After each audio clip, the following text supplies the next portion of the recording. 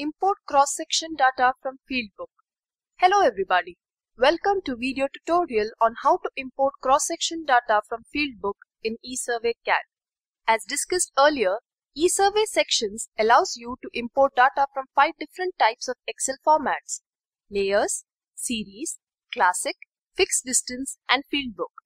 Select template icon from the toolbar and then select Fieldbook and click on the Open button to open the blank Fieldbook format.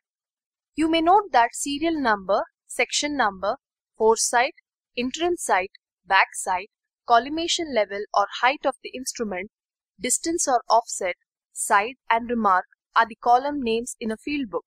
You need to fill this data.